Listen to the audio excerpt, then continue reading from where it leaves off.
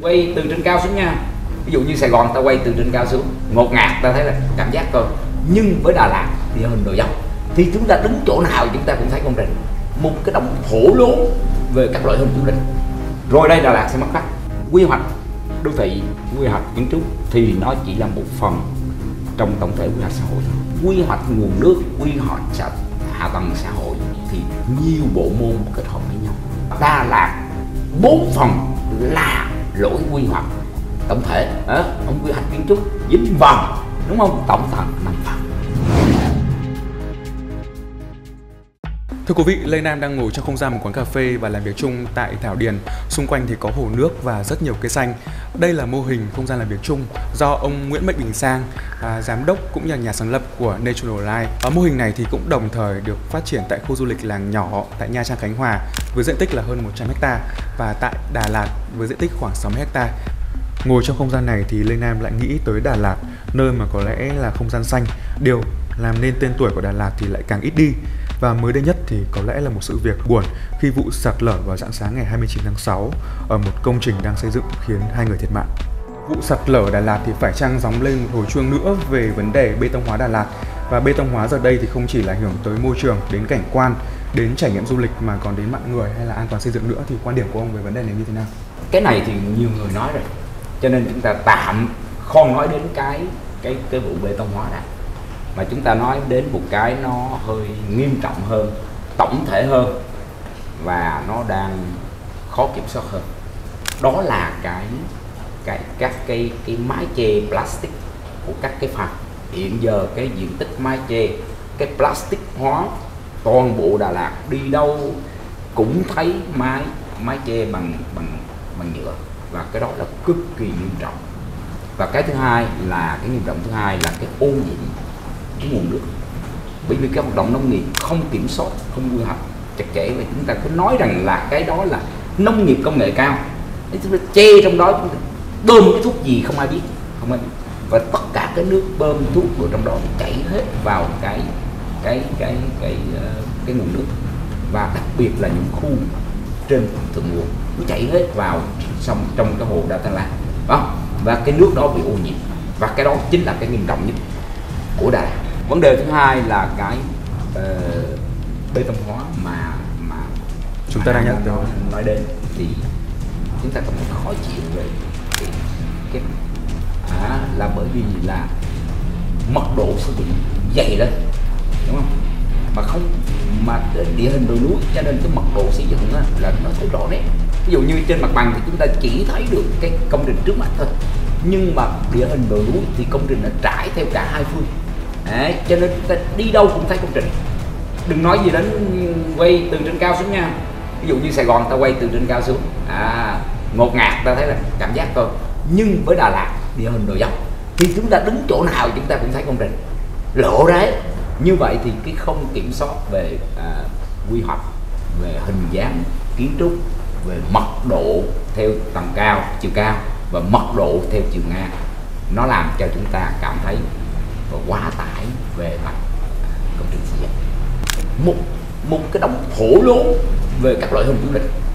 Chúng ta nên phải phải, phải quy hoạch cái loại hình du lịch mà nó phù hợp với với Đà Lạt chứ không phải là ở đâu cũng công viên check-in chỗ đâu cũng một mớ ổ lớn như thế thì chúng ta đang tự đánh và nó gây nó quá hại lại hết thì chúng ta đang phá vỡ môi trường sống đặc trưng của Đà Lạt có một thực trạng mà nghe khá là trái ngoe là phố núi Đà Lạt bây giờ cũng ngập lụt và thậm chí là có những ờ, trận ngập lụt lớn trong vài năm trở lại đây. Thì ờ, theo ông thì không biết là đây có phải là hậu quả của việc quy hoạch thiếu logic hay không ạ?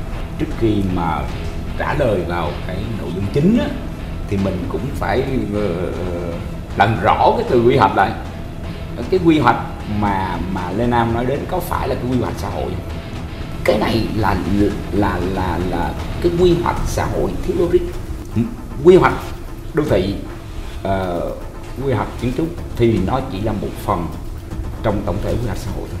Cái phần này có dính ông ông kiến trúc này. Quy hoạch nguồn nước quy hoạch sạch hạ tầng xã hội thì nhiều bộ môn kết hợp với nhau. Đa là bốn phần là lỗi quy hoạch tổng thể. À, ông quy hoạch kiến trúc dính vòng đúng không? Tổng thể năm phần như là một bản giao hưởng ai sướng lên câu gì khi nào là piano đánh khi nào là violon đánh khi thì nó mới ra một cái bản giao hưởng. Đó là một nhà như thế thì nó không có cái tính tổng thể. Và chính không có cái tính tổng thể đó nó phá nát Đà Lạt. Phá nát hình ảnh Đà Lạt. Phá nát bối cảnh Đà Lạt. Phá nát cái uh, cái giá trị thật của Đà Lạt. Là môi trường sống tự nhiên. Ừ à, vậy thì không biết là ông San um, lần đầu tiên đến Đà Lạt là từ thời điểm nào và cái lần mà gần đây nhất ông quay trở lại Đà Lạt là thời điểm nào? Và dưới con mắt của một nhà quy hoạch cảnh quan thì ông thấy Đà Lạt đã thay đổi ra sao? khi tôi đến Đà Lạt là năm 1996 và cũng là cái thời điểm đó thì tôi gặp bà xã tôi. Ừ, gia đình mọi người uh, di dân lên Đà Lạt. Bà học trên Đà Lạt.